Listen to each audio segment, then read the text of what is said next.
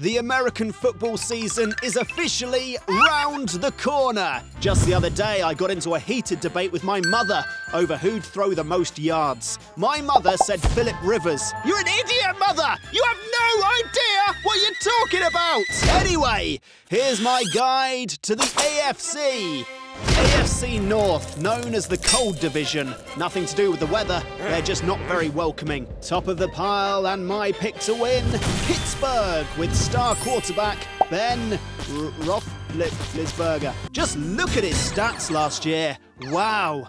All terrain transport, 584, 67 legs, dated 10 women, aged 40 plus. The man's a machine!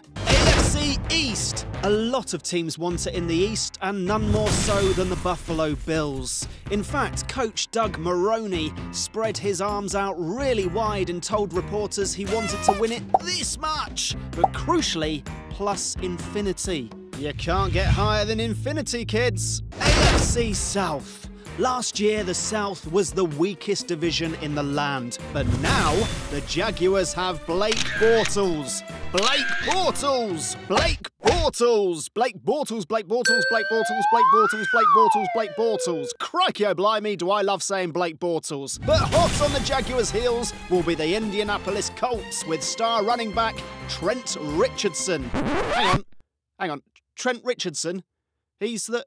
Right, that's it. I'm out of here. I tried to give this division a fair go, but it's clearly a joke. Let me know when the AFC South preview's over.